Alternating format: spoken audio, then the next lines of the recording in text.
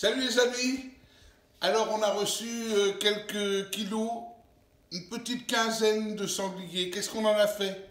Ben regardez, on a fait un bourguignon de sanglier, mais avec du sanglier et des petits oignons. Et puis surtout, on a fait des terrines. Regardez, une terrine, deux terrines, trois terrines. Regardez, a fait plein de terrines. On va distribuer ça. Il paraît que c'est très très bon pour le coronavirus parce que dedans il de la chlorophylle.